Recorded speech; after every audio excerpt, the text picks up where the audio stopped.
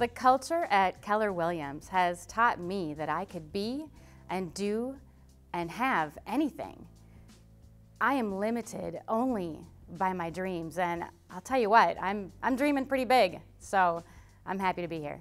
I chose Keller Williams because of the culture and because of the environment.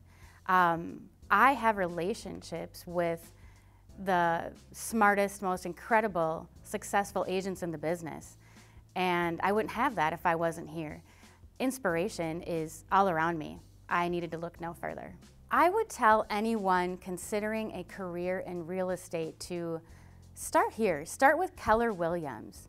You have more tools and training and support than any other broker around. And we believe at Keller Williams that when you succeed, we all succeed.